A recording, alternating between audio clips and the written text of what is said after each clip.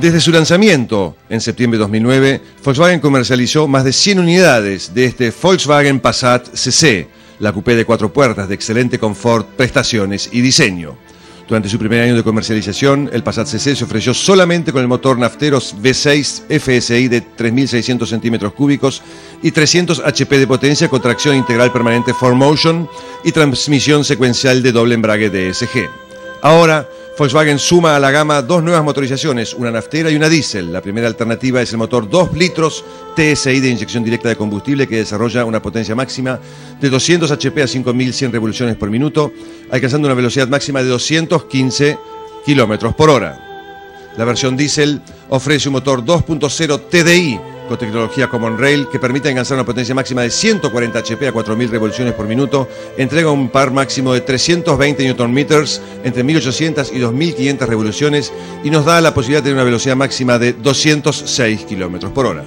En los motores 2 litros la deportividad se ve maximizada con sus dos opciones de transmisión, DSG o manual, ambas de 6 velocidades que permiten acceder a la potencia del motor en distintos regímenes de forma ágil y dinámica el Passat CC desde el punto de vista estético, un auto realmente muy agradable, muy grande.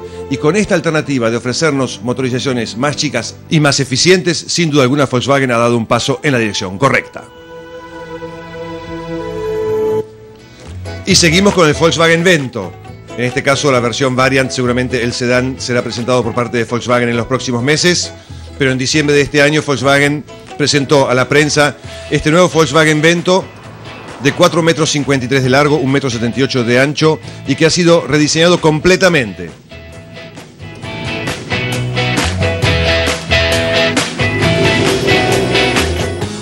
Volkswagen ofrece un techo corredizo panorámico rediseñado como equipamiento opcional, con una longitud de 1,36 metro 36 y un ancho de 87 centímetros.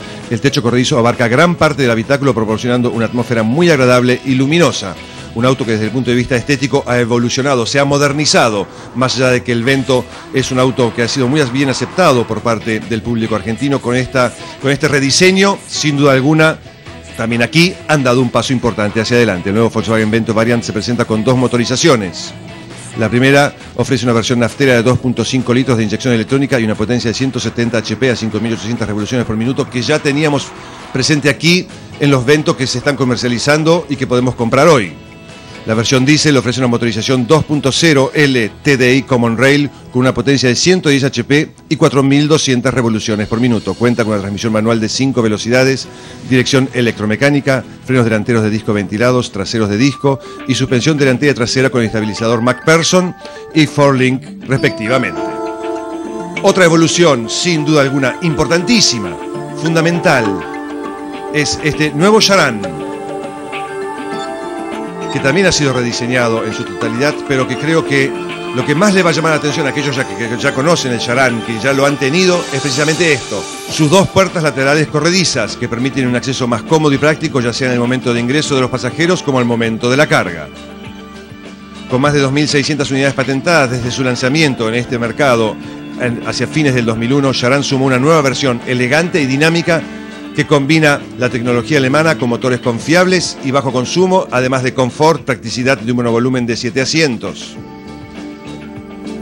El nuevo Charan tiene un motor, escucha bien, 1400 centímetros cúbicos TSU Blue Motion, con un turbocompresor de inyección directa electrónica que desarrolla una potencia, escucha bien, de 150 HP a 5800 revoluciones por minuto y, escucha bien, 240 Nm de torque máximo hasta las 4000 revoluciones por minuto. Cuenta con transmisión manual de 6 velocidades, dirección electromecánica, freno a disco en las cuatro ruedas con sistema de ABS, BAS, ASR, EDS y MSR. Sin duda alguna, Volkswagen, al estar presente en todos los segmentos y subsegmentos con esta muy agresiva política, sin duda alguna, insisto, por algo es el número uno dentro del mercado local.